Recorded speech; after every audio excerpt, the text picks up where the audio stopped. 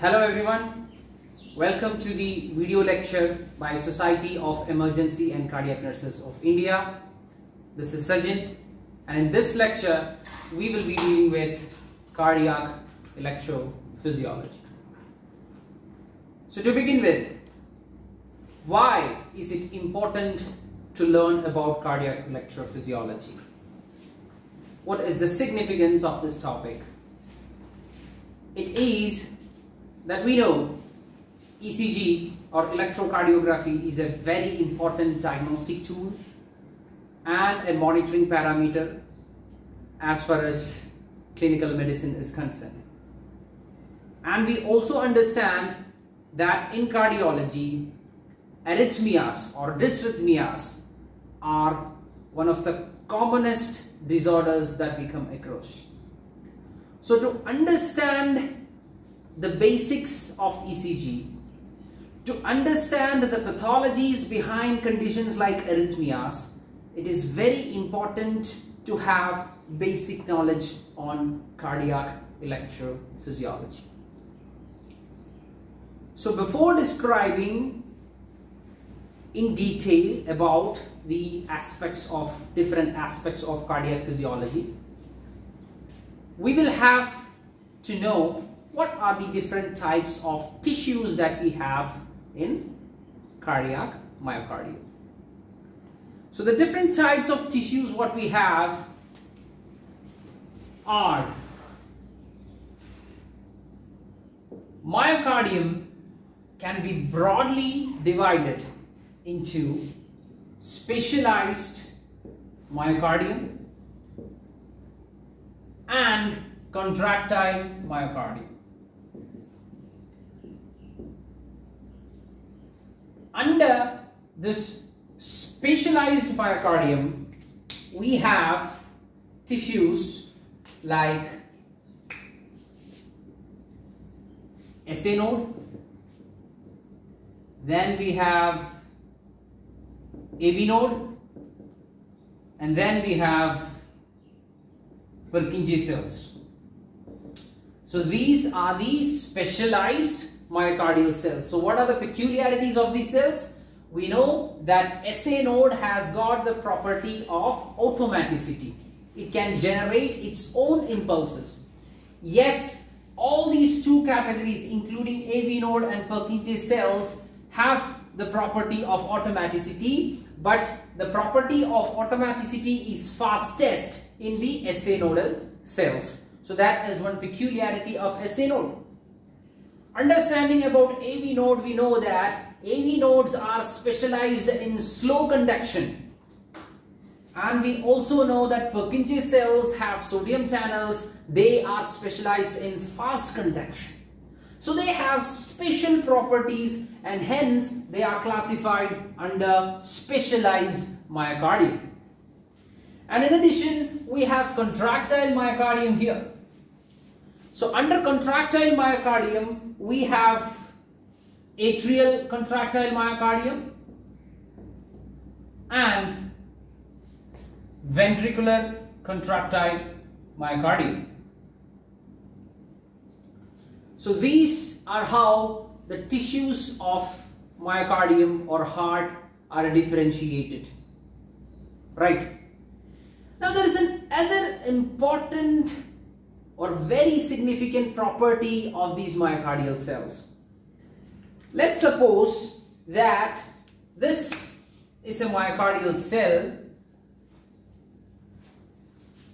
and here we have another adjacent myocardial cell.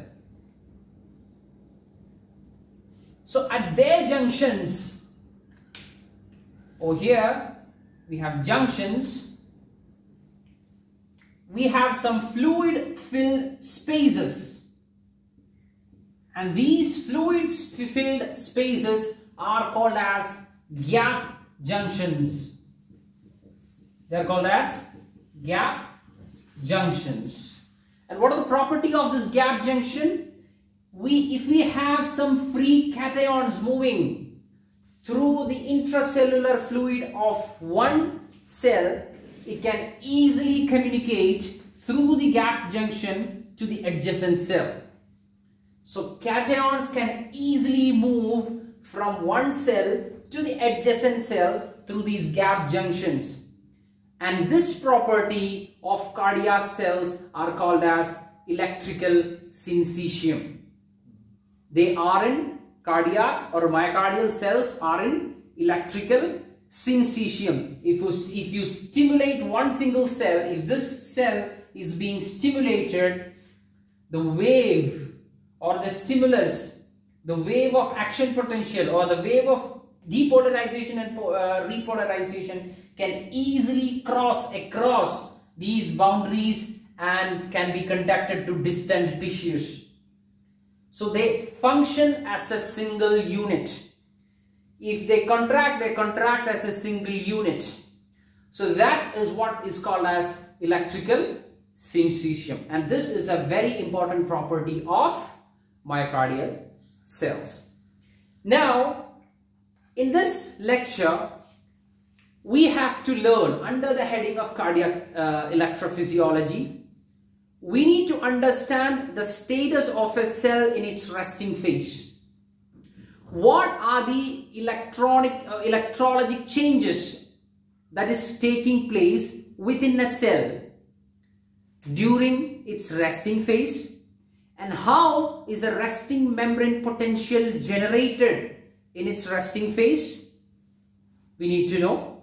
And in addition to that we also need to know how an action potential is generated inside a cell which is a continuation of the resting phase and from there how is the action potential conducted from one tissue to other and how are these electrical changes that is happening inside a cell connected with or related with mechanical action or which is called as contraction of the particular muscle cell.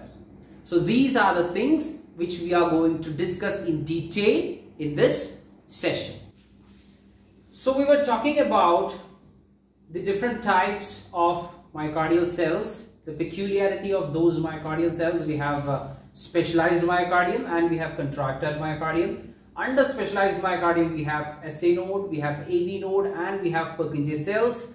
And under contractile myocardium, we have atrial myocardium as well as ventricular myocardium. And we also discussed the concept of electrical syncytium in which the inter-cell junctions or the junctions between the myocardial cells have gap junctions through which the cations can freely move and which means one cell can easily excite the adjacent cell through free cationic movements and it acts as a it together acts as a single unit and this property is what we call as electrical syncytium.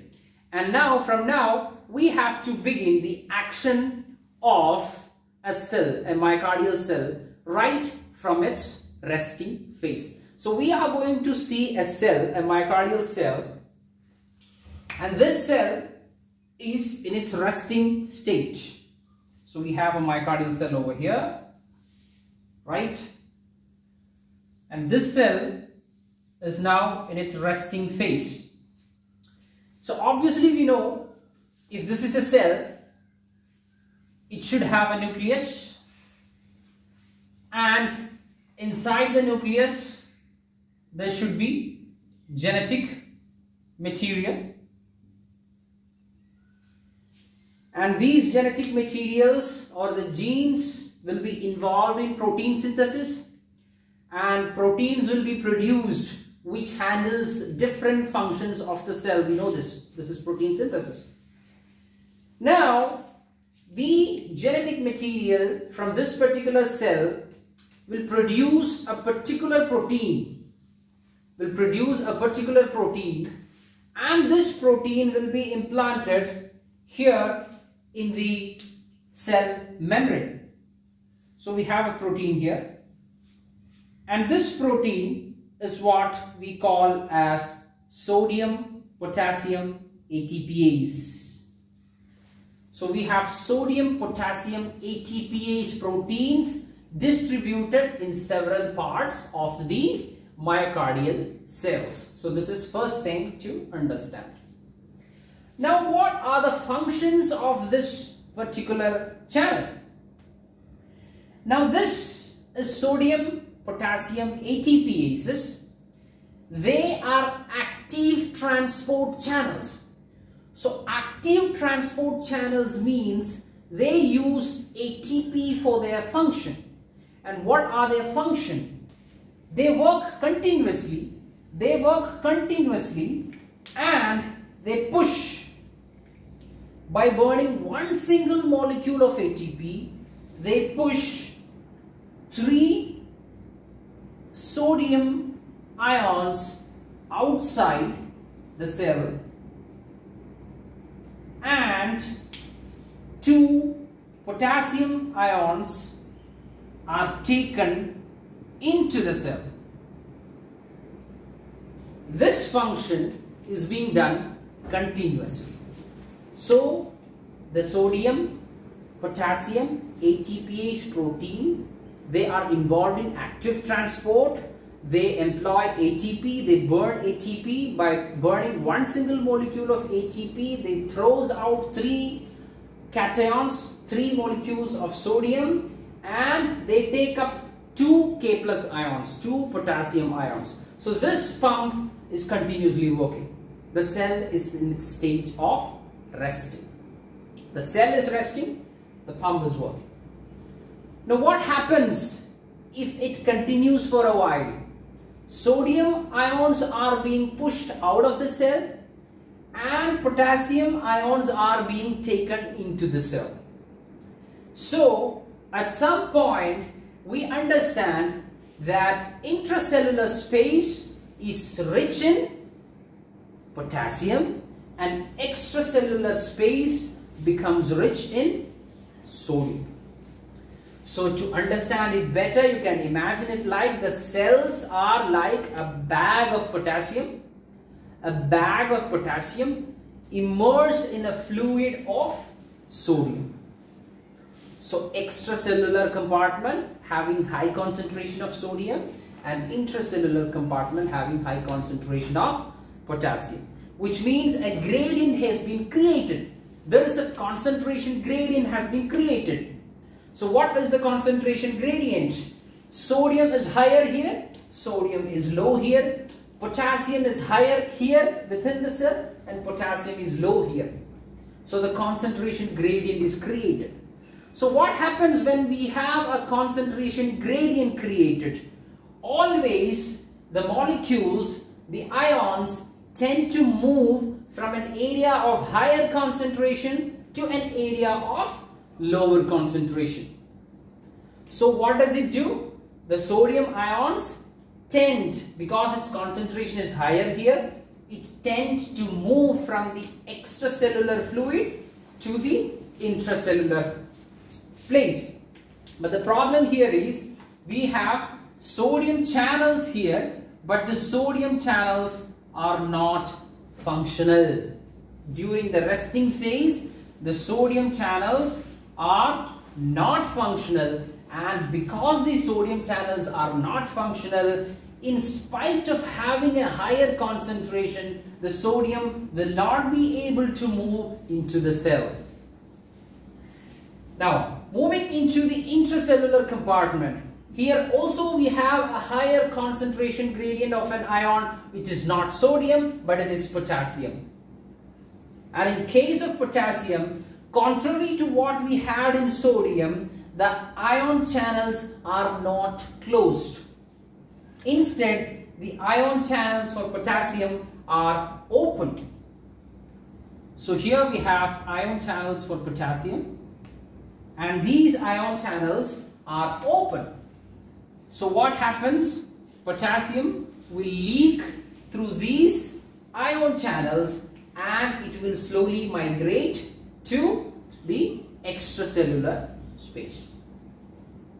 So just for another recap, we know that because of the constant function of sodium potassium ATPase molecule, active transport is happening three molecules of sodium, three ions of sodium are being thrown out of the cell and two ions of potassium is being taken into the cell. A concentration gradient is created. Sodium concentration is higher outside and potassium concentration is higher inside. In spite of having a higher sodium concentration outside the cell, the sodium is not able to move into the cell because of the closed sodium channels. At the same time, because of the higher concentration gradient, potassium is able to move out of the cell because the potassium channels in the cell membranes are open. So that is the story with concentration gradient. Now along with concentration gradient, we have something called as electrical gradient also. Because with burning of one single molecule of ATP, the, the cell is throwing out three cations and it is only gaining two cations. It is throwing out three cations but it is only gaining two cations which means net effect is that the cell is losing potassium or the cell is losing cation. So the net effect is that the cell is losing cation. So in addition to the loss of cation which we have here, there is also leaky potassium channels in the cell which are taking out additional potassium from the intracellular space to the extracellular space. So the cell is moving more and more towards negative voltage state during its resting time. Say for example, with the process of the sodium potassium ATPase, it is losing cations. So because of losing these cations, maybe the cell might have developed a potential of negative 5 millivolt. In addition to that, we have leaky potassium channels. So the cell is losing more and more cations. So the cell becomes more and more negative in voltage channels. So the minus 5 millivolt will be increasing in negativity. It will become minus 10 millivolt, minus 20 millivolt, minus 40 millivolt and ultimately it reaches up to minus 90 millivolt which is what is called as the resting membrane potential.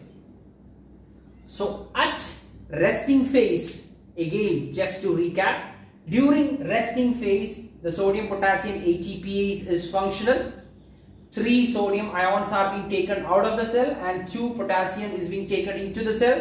There we have a loss of cations for the cell. And in addition to that through the leaky potassium channels the cells are losing cations.